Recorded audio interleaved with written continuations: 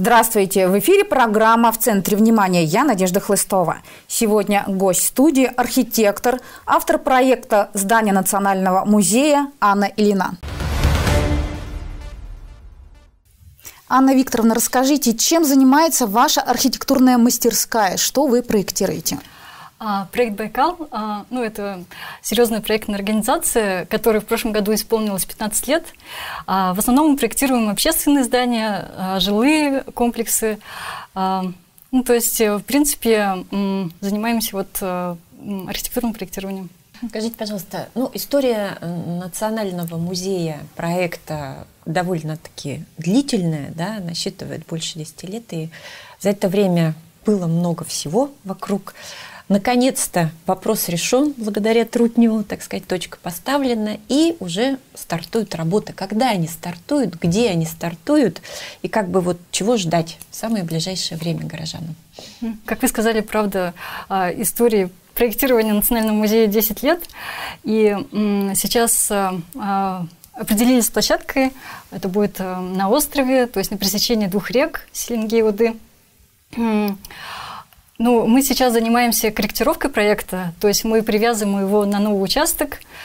А, насчет а, сроков строительства, ну, это вопрос а, не совсем мой. Не к вам, да. да потому что, а, ну, наша задача сделать проект, ну, сделать корректировку. А, я, конечно, очень надеюсь, что музей построится в ближайшее время, но учитывая последние события, ну, сложно загадывать. Но будем надеяться, что все будет хорошо. Спасибо. Анна Викторовна, а Национальный музей в виде плывущего по воде цветка, ну, кажется уместным для строительства именно на, на острове. Да? Но есть проблема такая, что в связи с поднятием уровня воды э, в многоводный период особенно, возможно ли его подтопление, и а какие именно внесены изменения в проект в связи с выбором нового участка для его строительства? Не поплывет ли цветок? Да, а, еще до начала проектирования мы изучили вот этот вопрос. То есть э, мы работали с э, гидрогеологами, а, они провели анализ, обследования данной территории и э, выявили нам, ну то есть они проанализировали а, вот паводки в течение последних 100 лет и дали нам отметку, от которой мы вот как раз и проектируем. То есть а, отметка, э, которая учитывает еще э, домование. То есть при домовании у нас же поднимется на 90 сантиметров вода. То есть э, именно вот эту отметку мы берем за, за основу. За основу, да. И из изменений мы добавили нижний этаж то есть таким образом, если раньше у нас фондохранилища располагались на уровне земли, то сейчас они поднимаются выше, чем на 3 метра от э, уровня, то есть от э, однопроцентного паводка, который э, бывает вот раз в сто лет. И если говорить об этом этаже, ну, я, в принципе, могу вам показать на плане. То есть это вот самый нижний этаж, который добавляется. Это самый нижний этаж, это вот новый, новый mm-hmm. этаж. И мы хотим внести ну, еще одну изюминку, то есть мы а, пропускаем улицу под здание. То есть здесь у нас планируется а, открытое пространство, то есть для уличной экспозиции. То есть там, возможно, будет парк миниатюр, как, в принципе, хотел музей. Ну, вот желтым обозначены технические помещения. Здесь вот главный блок. Тут, ну, из-за вот этой из-за этих изменений у нас э, получилось, что главный вход также спустился на уровень земли. То есть э, на первом этаже у нас будет э, основной вестибюль с гардеробом, и дальше по лестницам и лифтам мы поднимаемся на верхние этажи, то есть где у нас вот визит-центр, где основные вот помещения. А вот какие-то дополнительные столбы, да, что вот, чтобы повыше, покрепче? Да, ну у нас э, э, конструктивная система, то есть э, железобетонный каркас, наши конструкторы они корректируют армирование а, каркаса, меняют фундаменты под новую, новую площадку. А, то есть э, мы, конечно же, учитываем сейсмику, то есть на, на острове 9 баллов, а, допустим, на Верхней Березке было 8 баллов. То есть вы заложили на 9 баллов сейсмику? Да, конечно. Угу. То есть мы а, абсолютно все учитываем, а, а, рассчитываем нагрузки. Не поплывет, не упадет. Да, конечно. да. Скажите, ранее вот известный бурятский архитектор Геннадий Хунхенов, по-моему, раскритиковал проект, сказал, очень дорогая инфраструктура. Ну, так ли это на самом деле? И также он называл ошибку еще включения фонда, по-моему, фондов музея природы, сказал, что это анахронизм, нужны ботанические сады, океанариумы и так далее, ну, такие современные вещи. Расскажите о начинке поподробнее. Сколько там будет этажей, что где будет находиться, какие музеи, какие фонды, что можно будет увидеть? Насчет э, того, что будет дорогая инфраструктура, ну, в любом случае, а, такое здание, как Национальный музей, будет иметь такую дорогую инфраструктуру, где бы он ни построился, то что в любом случае нужно подводить инженерные сети, канализацию, отопление, а, а, воду, а, также э, электрические сети. Ну, то есть это неизбежно. А насчет того, что была совершена ошибка ну, вот включения фондов природы, но нужно учитывать, что это реальный проект, и мы работали по реальному техническому заданию, который утверждался заказчиком, и всеми заинтересованными лицами, то есть ну, самим музеем. То есть мы не могли по своей угу. какой-то инициативе а, убрать а, музей природы. То есть у нас было а, техническое задание, и мы по нему работали.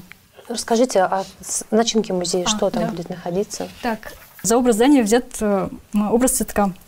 А, изначально а, это была интерпретация цвет, цветка айганга, ну, цветка степи, то есть когда мы проектировали на Верхней Березовке. Сейчас больше подходит образ лотоса, ну, цветка, плывущего по воде. А, вообще у нас получается четыре блока, четыре лепестка. А, три из них символизируют три музея, которые объединяются вот в этом здании. То есть это художественный музей Нецемпилов, природы и музей истории Хангалова. Вот в этом главном блоке, а, ну, четвертом лепестке, у нас а, а, располагаются ну вот вестибюли, визит-центр, большой конференц-зал, детский центр, библиотека, ну, административные помещения. И все вот эти наши четыре лепестка, они завязаны вокруг центрального пространства многосветного, который ну, является стержнем и тоже имеет а, символическое значение, то есть это а, а, символ СРГ, ну, символ древа жизни, символ места. Мы вот когда разрабатывали архитектуру, мы старались э, показать вот гармонию с природой.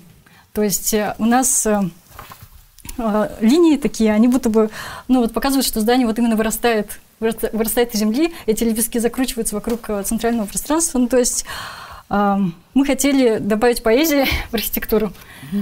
Вопрос, чем вы вдохновлялись, когда делали этот эскиз? Получается, вот эта концепция у меня возникла именно при работе над дипломным проектом. То есть тогда у меня был очень большой поиск, мне хотелось найти очень красивый образ, ну, который бы олицетворял природу Бурятии, ее историю, большую культуру богатую. И хотелось найти очень красивый, красивый образ. И вот э, э, мне, можно сказать, а, попались э, строчки поэта Дандока Улзатуева «Цветки Айганка», «Голубом цветке степи». И вот эти строчки как-то тронули э, мою душу. То есть я как будто перенеслась в свое детство.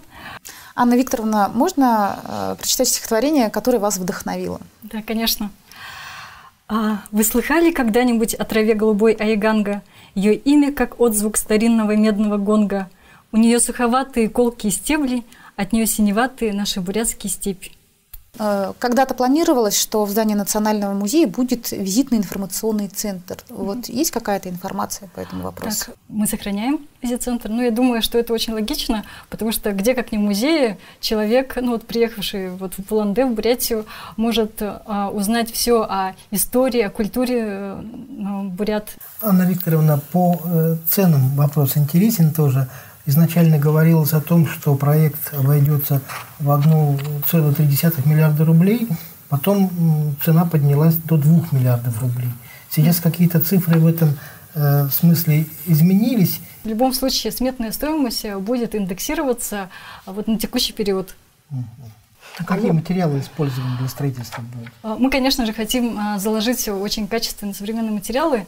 А, ну, будем надеяться, что цены не подскачут, А можно уточняющий вопрос? Я хотела узнать насчет общей площади музея, во-первых. Mm-hmm. Во-вторых, правда ли, что там собираются засыпать какую-то протоку для того, чтобы вот а была нет, площадь нет. побольше? А, насчет протоки нет, да? а, мы говорили, по-моему, в 2019 году. Mm-hmm, То есть это было одно из а, предложений. Сейчас же мы решили, что оставляем протоку. А, просто мы а, проектируем пешеходный мост, который свяжет а, наше здание, а, остров а, с... А, ну, с материком. А какая общая площадь будет у него? Общая площадь у нас 14 э, 900 квадратных метров. Это включая все этажи, наверное? Да, да. Угу. Ну и включая такое. частично вот этот вот новый этаж, который мы а, добавили. А, а сколько будет этажей? Ну, у нас э, то, что 4 блока, там этажность немного разная, но максимально вот 4 этажа. Скажите, вот эм, проект с реальностью воплощенный несколько в итоге, в итоге имеет тенденцию расходиться. Все потому, что ну вот цены, да, потом какой подрядчик попадется и прочее, прочее. Э, получается вопрос простой. Э, авторский надзор. На сегодняшний день это довольно-таки сложная проблема для архитекторов. Как вы видите ваш авторский надзор за таким достаточно дорогостоящим, сложным и долгим объектом. Хочу сказать, что мы будем действительно настаивать на том, чтобы проект воплотился именно в таком виде, в котором мы его видим, в котором мы проектируем. То есть э, насчет авторского надзора, э, скорее всего, в основном буду вести его я, ну, так как за 10 лет я все-таки приобрела определенный опыт, э, я считаю, что ну, в моих силах это сделать, но, конечно же, Валентина Ивановна будет э, включаться, когда будут решаться какие-то ключевые важные моменты. Ну, а также ну, авторский э, надзор ведет не только архитектор, а, там будут и другие специалисты, которые отвечают по своим вопросам. А, ну и самый главный человек – это, конечно же, ГИП, ну, то есть главный инженер проекта, который как раз будет контролировать стройку. Анна Викторовна, вы частично затронули уже этот вопрос о благоустройстве прилегающей территории. Насколько я знаю, там рядом еще театр Байкал разместят. Еще, может быть, какие-то здания. Вот как вы думаете, что было бы логично разместить рядом, да, вот в ближайшем окружении? Соседство таких э, крупных, э, двух крупных объектов, как э, Национальный музей театра Байкал, это, конечно же, очень большой плюс, ну, то, что они дадут огромный толчок для развития вот этой территории, ну, исторического центра. Конечно же, мы эм, проектируем, ну, вот благоустройство нашей территории прилегающей. То есть э, мы там планируем сделать э, достаточно интересное благоустройство, то есть там будут а, а, и зоны отдыха, и площадки для, вот, как я сказала, уличной экспозиции.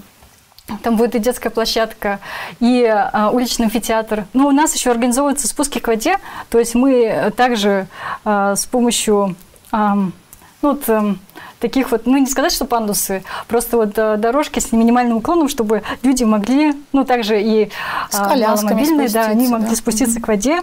Ну и здесь вот э, предполагаем скамейки какие-то, ну вот, чтобы можно было просто посидеть с книжкой, например, почитать, э, посмотреть на воду. Также мы, конечно же, из расчетов делаем автостоянки, максимально все предусматриваем в нашем проекте. Ну и также, я как уже говорила, что у нас э, планируется вот пешеходный мост. Под пешеходным мостом мы хотим провести все э, коммуникации инженерные. То есть там э, будут э, ну, вот и канализация, водопровод, э, тепло, и они вот как раз выходят нас в этот главный блок, где внизу у нас основные технические помещения. А вот сейчас очень много говорится о реконструкции исторической части города. Вот если бы к вам обратились за помощью и попросили у вас помощи, вот какое бы вы решение предложили? Что-то, может, изменить, еще поменять? Для развития исторического центра, конечно же, нужны деньги. А, но для этого застройка она должна быть привлекательна для инвесторов, ну, чтобы люди вкладывали свои деньги. Вот. Но она должна подчеркнуть а, исторический дух нашего центра. То есть, э, чтобы это можно было понять, что все-таки Улан-Удэ, а не какой-то там другой город. А вообще вот эта профессия сейчас востребована? Как я считаю, архитектор а, может проектировать все, что угодно. То есть э, дать ему, можно сказать, голый участок, он может построить дом, спланировать, то есть сделать вертикалку, посчитать земельные массы, благоустройство сделать, потом э, внутри, то есть интерьеры продумать. То есть, в принципе, ну вот профессия, она в любом случае будет востребована, даже если не будет там таких крупных проектов. Ну, то есть это же тоже а, не каждый год а, выделяются средства и так далее. Но для Ну, дома будут строить всегда, да? да? Дома, интерьеры, то есть это всегда будет. А, а вот про точечную застройку? Ну, это очень удручает. Но мне кажется, что это все-таки больше проблема а, градостроительной политики. То есть у нас а, градостроительство архитектура, они а, как-то ну, то есть не могут повлиять на вот эти вот решения. То есть, э, допустим, в прошлые года очень часто было, что строился дом, выходил за красную линию, то есть сейчас невозможно, допустим, где-то расширить дороги, потому что уже, ну, построено здание. А есть в городе здания, которые вот лично вам нравятся? Возможно, это какие-то старинные здания. У нас очень много красивых старинных зданий. Или современные какие-то. Мне всегда очень нравилось именно наш а, исторический центр то есть именно деревянное зодчество. Это то, что отличает э, Улан-Удэ от многих других городов. То есть э, и я э, также надеюсь, что будут выделяться средства именно на реставрацию, реконструкцию вот этих вот памятников архитектуры, потому что те же торговые центры, жилые комплексы, их очень много во всех городах. Ну, то есть, можно сказать, даже иногда непонятно, что за город, ну, потому что везде примерно одно и то же. Анна Викторовна, вам э, несказанно повезло. Ваша первая, можно сказать, студенческая работа э, не просто получила признание да, на конкурсе, она воплотится в жизнь. И вот она-то через 50-100 лет точно будет в городе Улан-Удэ. И уже сейчас, можно сказать, это будет ну, знаковое здание, можно сказать, визитная карточка Бурятии. Скажите, пожалуйста, вы чувствуете себя счастливым человеком? Ну, внутренне? я, наверное, угу. почувствую вот это вот э, счастье именно тогда, когда начнется строительство. То есть его уже отодвигали на 10 лет. Угу. А, и, ну, а, как бы вот эти события, которые сейчас происходят, они меня очень сильно беспокоят.